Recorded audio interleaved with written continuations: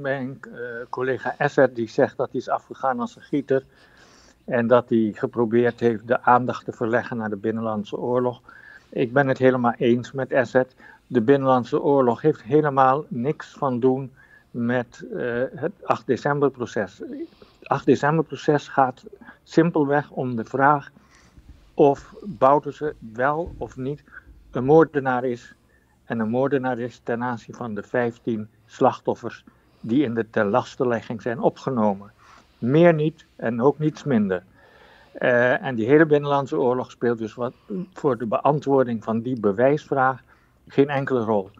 Uh, er zijn verder een hele hoop omstandigheden aan te wijzen. Die zijn ook overigens allemaal opgenomen in het vonnis van de krijgsraad. Die ertoe leiden om te zeggen dat voor zover hij beweert niet aanwezig te zijn geweest in het Fort Zeelandia op het moment suprême, dat dat een, een evidente leugenachtige verklaring is.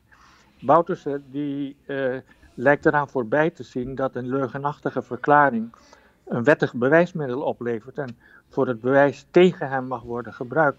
Wat dat betreft was het processueel niet zo handig van hem wat hij vandaag gedaan heeft. Hij had beter van zijn zwijgrecht gebruik kunnen maken, lijkt me zo. We moeten onder ogen zien dat er bewijsmateriaal aanwezig is voor, ik noem maar wat, dat de lichamen van de slachtoffers, die waren in het mortuarium tot aan de hals bedekt met een wit laken. En de nabestaanden die kregen het verbod om dat laken weg te halen. Er mocht ook geen sectie gepleegd worden op de lijken van de slachtoffers.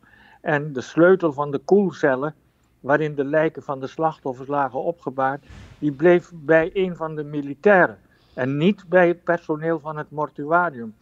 Waarom zou dat allemaal zo zijn? Dat is natuurlijk allemaal gebeurd om te voorkomen dat ontdekt zou worden dat alle slachtoffers van voren zijn neergeknald en niet van achter op de vlucht zijn doodgeschoten. Dus dat hele verhaal kunnen naar het Rijk der Fabelen verwijzen. En de krijgsraad heeft wat mij betreft terecht en zeer goed gemotiveerd overwogen dat dat hele verhaal van uh, op de vlucht zijn uh, doodgeschoten, dat dat kwats is.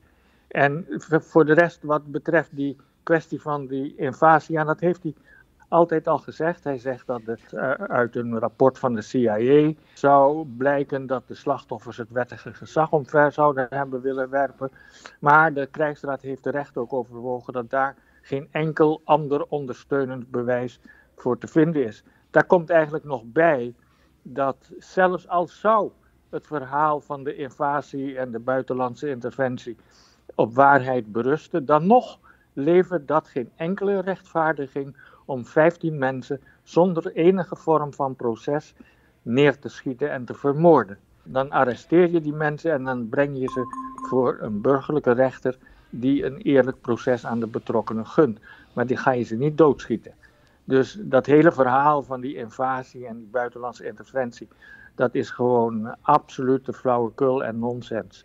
Ik denk ook dat het Hof daar korte metten mee gaat maken en daar de vloer mee zal aanvegen. Dat van herinneren, dat, dat is altijd heel moeilijk om in iemand zijn hoofd te kijken en in zijn hersenpan te kijken. Misschien lijkt hij wel aan een of andere ziekelijke vorm van dementie en kan hij zich niks meer herinneren. Dat is niet uitgesloten, hij heeft er de leeftijd voor. Maar aan de andere kant, het maakt eigenlijk ook helemaal niet zoveel uit wat hij zich wel of niet herinnert. Uh, het bewijs ligt huizenhoog opgestapeld in het dossier. Dus aan die herinnering van hem, uh, of u dat wel of niet herinnert, daar kunnen we aan voorbij gaan.